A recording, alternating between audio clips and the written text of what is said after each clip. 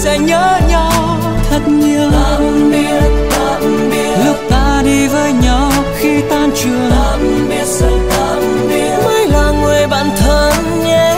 Tạm biệt tạm biệt. Xa rồi bạn đừng quên tôi. tạm biệt sẽ tạm biệt. Tạm biệt nhé nơi này. Bye. Bye.